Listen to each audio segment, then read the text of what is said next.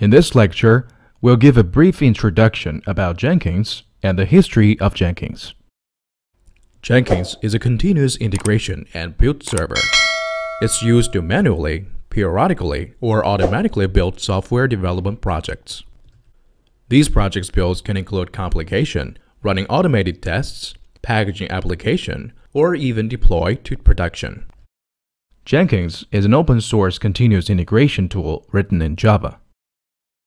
Jenkins is used by teams of different sizes for projects with various languages such as Java, .NET, PHP, Ruby, Groovy, etc. So why Jenkins have been so widely used?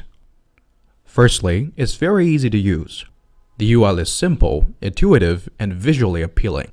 And Jenkins as a whole has a relatively low learning curve. As we'll see in the next few lectures, you can get started with Jenkins in just a few minutes. Also, it has great extensibility. It's extremely flexible and easy to adapt to your own purposes. You can find thousands of open source plugins are available. These plugins provide various functionalities, such as version control systems, code quality metrics, build notifiers, UI customization, etc. Next, let's talk about the history of Jenkins. Jenkins was originally developed as the Hudson project. Hudson's creation started in the summer of 2004 at Sun Microsystems. One of Sun's developer called Kohsuke Kawaguchi started the project as a hobby project under the name of Hudson in late 2004. It was first released in February 2005.